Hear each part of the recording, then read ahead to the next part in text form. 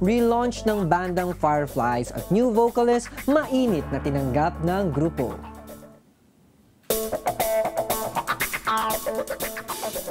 Taong 2016 nang mabuo ang Fireflies Band dahil sa pandemya.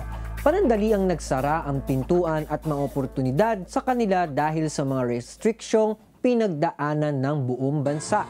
Sinubok ng iba't ibang sigalot at problema pero hindi tumigil na magpatuloy sa pangarap ang grupo. ang maasahan po ng mga fans namin ng Fireflies. Uh, nagagawa kami ng song na magugustuhan nyo at pagagandahin namin lalo para lalo nyo mas i-like at saka pakinggan sa radios or in your Spotify or in your cell phones. Yeah, and any platforms and digital platforms. So hopefully supportahan niyo po kami, not just us at saka yung uh, uh, all artists of course. OPM. OPM. OPM.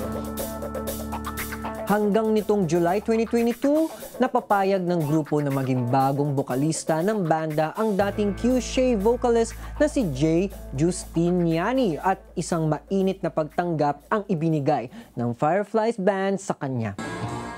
Dahil dito isang relaunch ang binuo ng grupo para ipakilala ang mga bagong mukha ng bandang sina Jay Justiniani at Junji Dosdos na dati ring keyboardist ng Q-Shay.